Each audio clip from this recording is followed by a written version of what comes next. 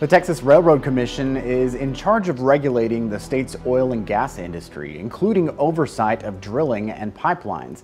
That's a big deal, but normally voters don't pay much attention to the race for Railroad Commissioner. But this year could be different. As Monica Madden shows us, the race has heightened interest after the agency took heat for its role in the devastating power outages during the 2021 winter storm.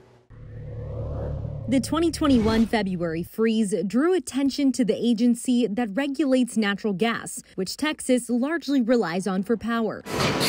That oversight falls on the Texas Railroad Commission, which, no, has nothing to do with railroads and everything to do with oil and gas. Republican incumbent Wayne Christian was unable to fulfill our interview request, but sent recorded responses to our written questions. I believe Texans should elect me again because I'm willing to fight. He faces a challenge from Democrat Luke Warford. And I'll lower your utility bills. A 33 year old from Austin with a background in the energy sector. Warford is hoping he'll be the first Democrat to win statewide office in decades. My opponent is a career politician who takes 99% of his campaign contributions from the industry he's supposed to regulate. So if you don't have the very folks that believe and support, which are oil and gas companies, then you'd wind up killing oil and gas in Texas by only putting folks on there that aren't supported by oil and gas. Warford says his top three priorities, if elected, are securing the power grid, decreasing Texans' utility prices, and restoring transparency to the commission. During last February's winter storm, natural gas prices went up hundreds of times overnight.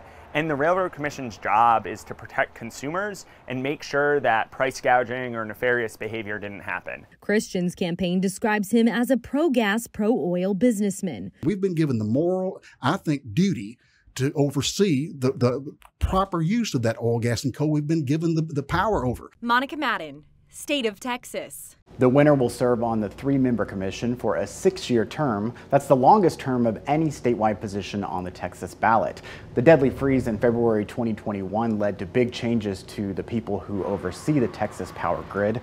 The governor is in charge of appointing members to the Public Utility Commission. After the power failures in 2021, all three members of the PUC resigned under pressure.